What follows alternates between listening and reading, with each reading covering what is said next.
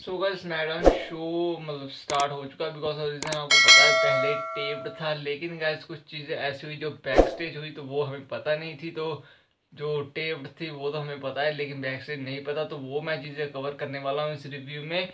तो guys first of all तो show की स्टार्टिंग होती है नया जैक से। नया जैक आगे सीधा सीधा बात करती है कि मैंने जो चीज़ें भी चाही वो हासिल की हैं and I want I want everything तो उन्होंने कहा कि मैंने जो समर स्लैम में किया था वो मैंने किया, मैंने जो क्राउन जूल में किया था वो किया था, मैंने टाइटल जीता, मैं सब कुछ जीता। अब मेरी नज़र है इस विमेन क्राउन जूल टाइटल पे। तो गाइस तभी लिम मॉर्गन भी आती है। लिम मॉर्गन भी आके वही चीज़ें बोलती है कि हाँ मैं भी ये टाइटल जीतना चाहती हूँ और मैंने तुझे हराया हुआ है। एंड इसके बाद इन्हें इंटरप्ट करती है टिफनी स्टेटस और टिफनी स्टेटस कहती है, मैं कैश इन करने वाली हूँ। एट क्राउन जूल एंड मैं किसी पे भी कैश इन कर सकती हूँ। और टिफनी स्टेटस ये चीज़ कहती है कि मैं नया जैक्स तुम पे भी कैश इन कर सकती हूँ, और मैं ले मॉर्गन तुम पे भी कैश इन कर सकती हूँ, और मैं डर्टी डोमिनिक तक को भी लेके जा सकती हूँ।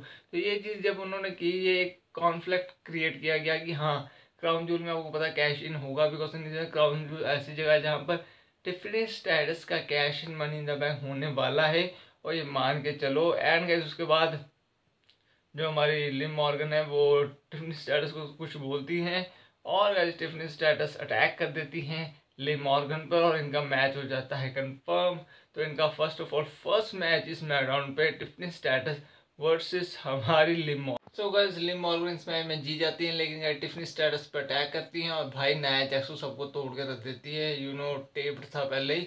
तो तोड़ के रख देती है। लिम मॉर्गन को भी रिकल रॉड्रिगस को भी है। अपना नाइलेटर लगाती है उसके बाद। पुश तो मतलब हमें जो दिखा कि पावरफुल तो नया जैक्स को दिखाया गया है। उसके बाद गाइस हमें बैक देखने को मिलता है। एक मतलब प्रोमो जो बैक स्टेज तो नहीं हुआ, लेकिन वो रिकॉर्डेड था by Kevin Owens Kevin Owens ने कहा कि तू भाई, मैं तेरा आदर्श था, तुझे मैं आदर्श मानता था, तू मेरा ये था। तो मतलब अब तू मुझसे फाइट करना चाहता है, मैं तुझसे नहीं करना चाहता था बट अब मैं क्राउन जोल में तुझे बहुत दर्द देने वाला हूँ, तू सोच नहीं पाएगा तुझे कितना दर्द दूँगा। एंड गाइस ये कैमरोन्स का एक प्रोमो था, छोटा सा उसका। सो गाइस हमें Street Profit and Pretty Deadly का मैच देखने को मिलता है। इसमें हमें स्ट्रीक प्रॉफिट जीत गई हैं, अब वो मशीन गन गैली से मैच करेंगी। And right now Pretty Deadly का तो कुछ नहीं हो रहा भाई। उसके बाद हमें बैक स्टे देखने को मिल रहा है नाया जैक्स एंड हमारी टिफनी स्टेटस तो नाया जैक्स कहती है, तू मुझ पे कैश इन करेगी? तो टिफनी स्टेटस कहती है, नहीं, मैं तो ये स्ट्रेटजी बना रही हूँ। सिर्फ़ और सिर्फ़ उसका ध्यान भटकाने के लिए। और तभी न्योमी एंड बेली आती है। न्योमी कहती हैं आके कि इस टाइटल को मुझसे बचा के दिखा। और ये चीज़ गाइज़ आप सोच के चलो कि टिफनी स्टेटस कैश इन करने वाली है। और कैश इन नाया जैक्स पे ही होगा एट क्राउन जूल उसके बाद गाइज़ हमें देखने को मिलता है नेक्स्ट टैग टीम मैच इंडियड हार्ड वेव कैंडिस मेरे वर्सेस बेली और नया हमारे सो गाइस इस मैच में बेली और न्योमी जीत जाती हैं बिकॉज़ ऑफ़ रीजन आपको पता है कैंडिस मेरे एंड इंडियड हार्डवेल हार गई इस मैच में. और उसके बाद देखने को मिलते हैं O T C tribal chief जो रिंग सो गाइस हमें ओ टी सी देखने को मिलते हैं रिंग में एंड भाई वो प्रोमो कट कर रहे होते हैं. बाद में जे ऊसो आते हैं जिमी ऊसो भी होते हैं. And guys Jey Uso simple सी बात करती है, ना तो ट्राइबल चीफ है वी आर सेम पेज और हम कज़न हैं एंड मुझे कोई फ़र्क नहीं पड़ता और तूने जितना मुझे दुख दर्द दिया है तो यार आपको पता है प्रोमो कट किया, पूरा डिलीवर किया प्रोमो अब अगर इस प्रोमो तो लीक नहीं था टेप लीक थी तो प्रोमो में वही चीज़ें बोली उन्होंने जो जुड़ी थी।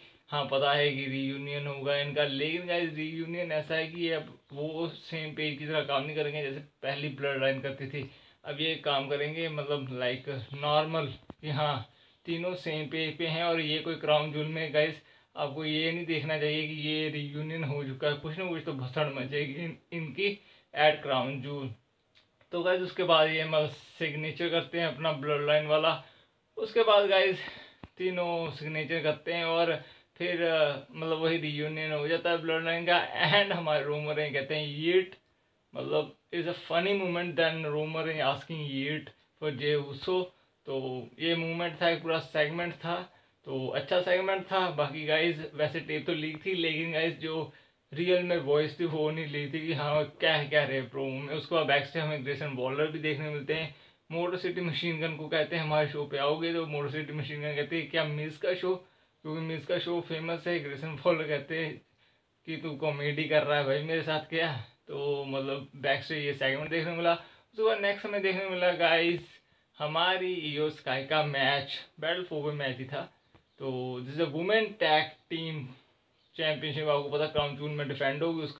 सो गाइस उसके बाद हमें बैटल फोर पे देखने को मिलता है, जिसमें हमें कायरी से सॉरी हमारी ईओस का जीत जाती है लैश लेजेंड पे, जब अपना केओडी लगाती हैं, अपना फिनिशर बैंक का प्लेयर तो उस पर मून शॉट लगा देती है हमारी ईओ स्काई तो मैच विन कर ली ईओ स्काई ने एंड आपको पता है क्राउन जून में बैटल फोर पे मैच है।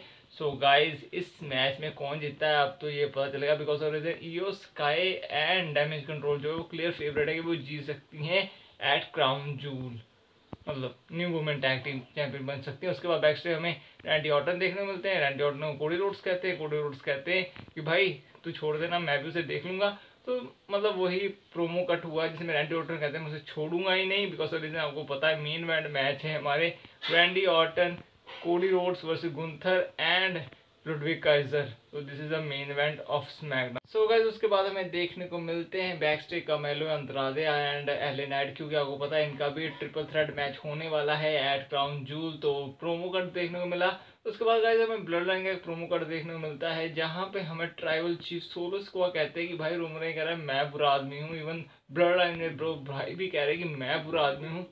लेकिन I am not a bad guy because reason मैं हर वक्त रोमन के साथ रहा, जब जे और जिमी ने छोड़ दिया, मैं तब भी रहा तो मैं कैसे बुरा बंदा हो सकता हूँ? सो गाइज़ हमारे सोल स्क्वाड ने यही चीज़ कही कि हाँ मैं ये चीज़ मानता हूँ कि मैं ट्राइबल चीफ हूँ, लेकिन मेरी फैमिली मुझे डाउन तो नहीं करती। तो जिमी और जे ने कैसे कह दिया कि मैं एक बुरा ट्राइबल चीफ हूँ, जबकि रोमर मुझसे भी बुरा ट्राइबल चीफ है बिकॉज़ ऑफ़ रीज़न उसके साथ में रहा रसल ने फोर्टी तक। मैंने उसकी हर हेल्प की, जो उसको मेरी हेल्प चाहिए, मैंने उसकी हेल्प की।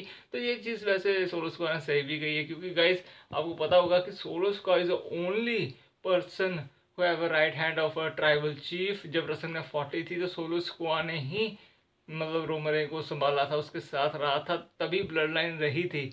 तो यही चीज़ उन्होंने कही है अपने प्रोमो में। उसके बाद गाइस हमें मैच देखने को मिलता है रैंडी ऑर्टन अब होता है मेन इवेंट मैच तो इस मैच में हमारे गाइस कोडी रोड्स जी चुके हैं रैंडी ऑर्टन जी चुके हैं एंड गाइस लास्ट में कैविन ओवंस आते हैं अटैक कर देते हैं रैंडी ऑर्टन पे स्टील चेयर के साथ उसके बाद प्रोमो कट करते हैं देन गाइस हमारी स्मैकडाउन एंड हो जाती है because of reason SmackDown guys पहले टेप्ड हो चुकी थी क्राउन जूल के कारण तो कईयों ने रिव्यू बना दिया था बट मैंने नहीं बनाया because of reason back stage की जो चीज़ें थी वो कवर नहीं की गई थी एंड गाइज़ मैंने वो कवर कर दी है इसमें तो बाकी अपडेट्स जो होंगी वो नेक्स्ट में नेक्स्ट वीडियो में बनाऊँगा ताकि उसके लिए अलग सेपरेट वीडियो हो एंड दिस रिव्यू वीडियो तो अगर अपडेट रिव्यू अच्छा लगे तो चैनल सब्सक्राइब वीडियो को लाइक करना। Thank you so much watch करने के लिए।